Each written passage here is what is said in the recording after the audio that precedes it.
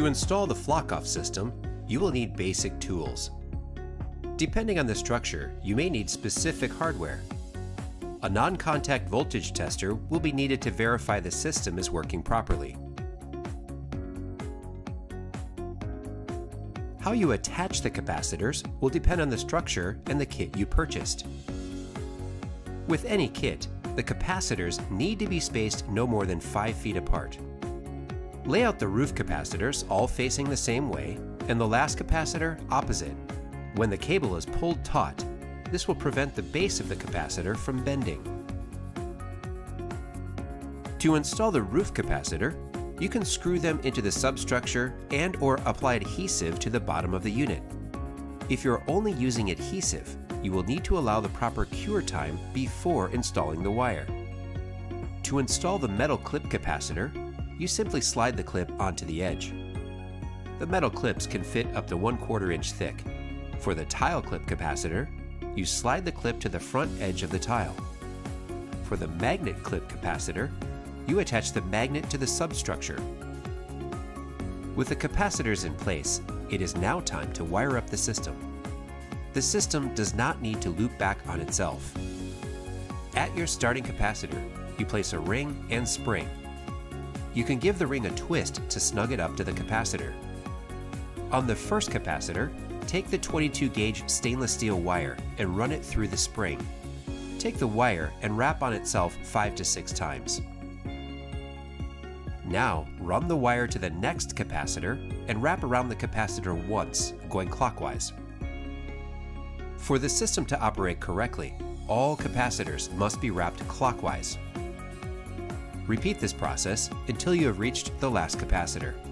When you reach the last capacitor, add a ring and spring and run the wire through and wrap on itself 5 to 6 times. Inspect the system to make sure the wire has not contacted any metal, as that will ground out the system. If you need to ground the system, locate a metal grounding source and wrap the stainless steel wire around it. Then wrap the stainless steel wire around the mounting hardware or metal base of the capacitor. If needed, you can branch off the main line. Add a ring and spring to the capacitor and run the stainless steel wire through and wrap on itself 5 to 6 times. Continue down the line wrapping capacitors clockwise. On the last capacitor, add a ring and spring.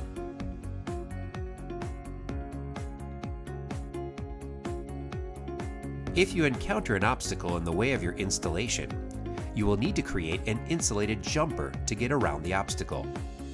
Measure the distance between the two capacitors. Cut a length of double insulated wire a few inches longer. Strip each end 1 to 2 inches.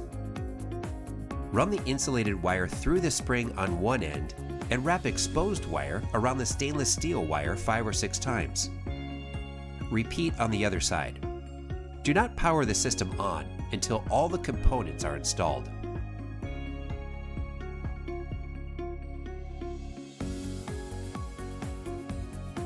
You should install the power supply as close to the initial capacitor as possible. The sides of the unit have tabs for you to screw the unit onto the substructure. You can add epoxy to help secure the unit if needed. If you are installing on a metal structure, magnets can be mounted to the back. When using a GFCI outlet, it is recommended that you start with the power regulator at 50%. Next, you will install the insulated wire that will plug into the power supply. Determine the length of insulated wire you will need from the power supply to your first capacitor, and strip 1 to 2 inches of wire from the end. The barrel plug should be installed on the other end. Run the stainless steel wire through the spring on the first capacitor. Wrap 5 or 6 times around the main stainless steel line. Take the other end with the barrel plug and insert into the capacitor output. Once the power supply is mounted and the insulated wire is installed, you can power on the system. Plug the system into an outlet. In order to test if the system is working, take your non-contact voltage tester and place near the capacitor to make sure it is working.